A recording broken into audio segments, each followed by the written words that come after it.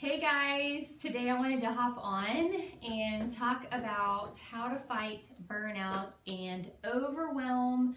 So, as you guys are joining today, leave me a comment below letting me know if you, as a musician, piano player, someone serving in ministry, um, have ever felt burned out and overwhelmed.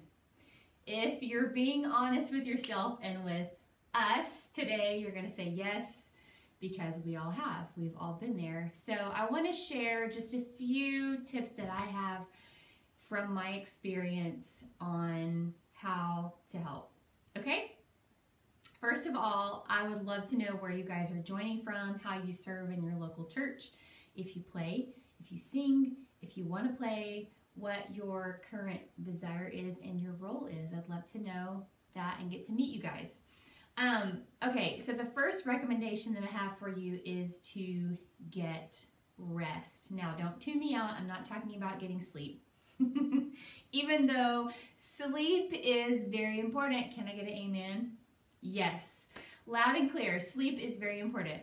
When I talk about rest, um, I've been paying attention to the things in my personal life that keep me distracted and keep me drained. It's very easy for me to grab my phone and get on Instagram. And before you tune me out about that, let me just say um, in our business, we study social media, how social media works, and Instagram is actually designed to be addictive. So if you feel like, man, you know, people always say, don't get on Instagram, but I like it, you enjoy it, that's fine. I do too.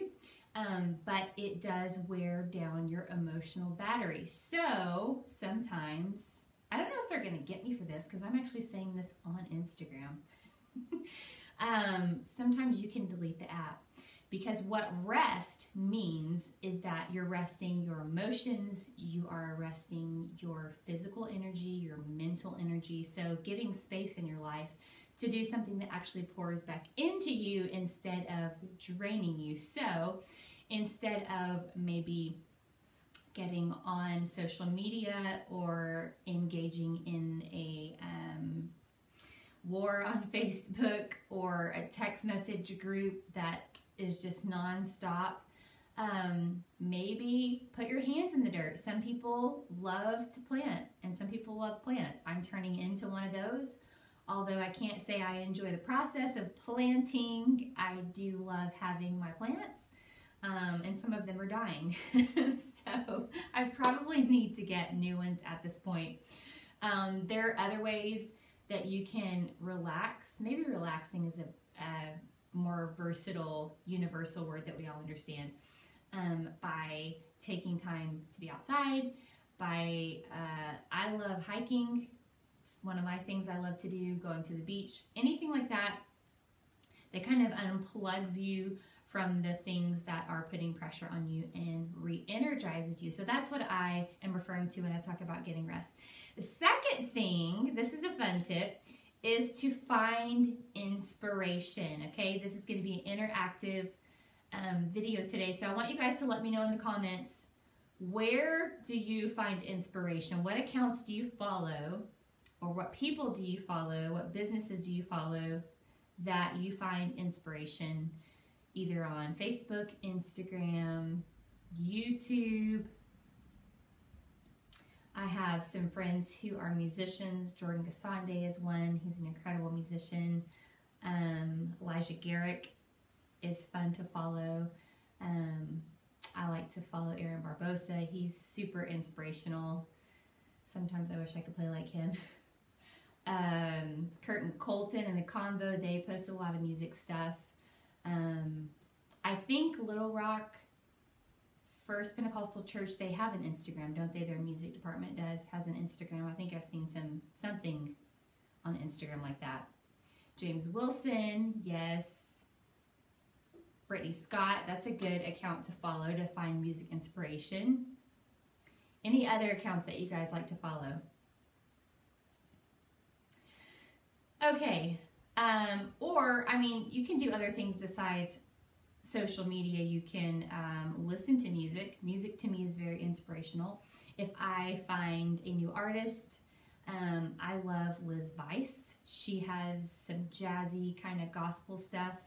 Um, Heather Headley is a good artist who um, she has a Christian album that's really nice. Her voice is kind of more like uh, more Celine Dion vibes. Some of her tone is that way. Um, Caleb Collins has a good uh, hymns album, and it's more jazzy. So if you're into the old jazz, like like Frank Sinatra, Michael Bublé stuff, you would love that Caleb Collins Collins album. It's really good. Um, and let's see, that's all I can think of for now. So just start finding inspiration that will help you get inspired. Isn't that profound? and then the next thing is to have fun with your gift. And the way that you do that, okay, James says the camera isn't flipped to make it look correct. Correct. It's because I have a shirt on that you're supposed to be able to read. Just forget the shirts to read.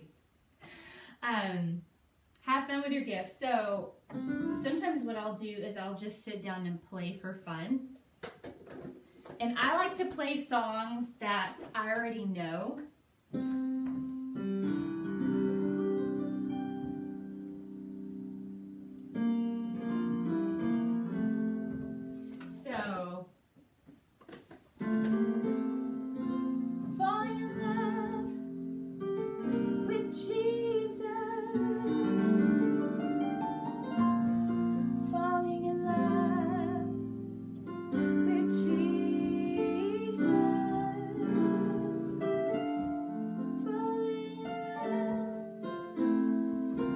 Jesus.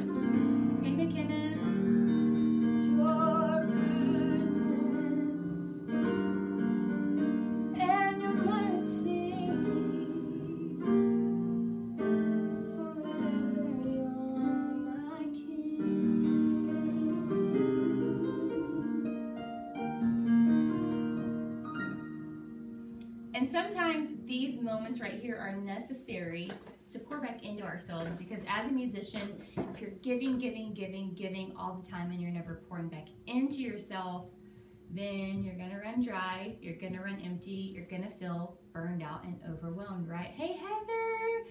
Hi my friend, hey you guys. Um, so those are the tips that I have for you.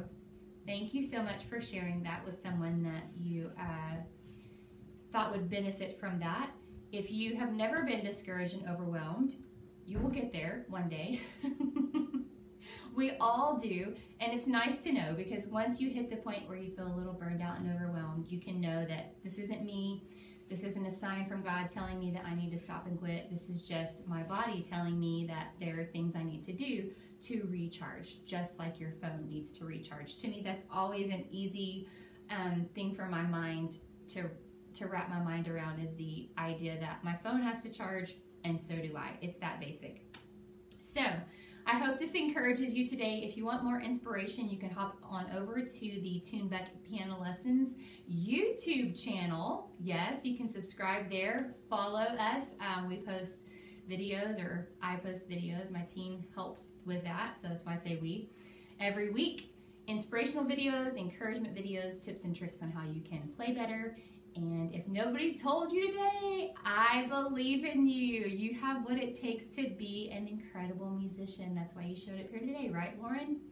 Yes, because you want to play the piano better.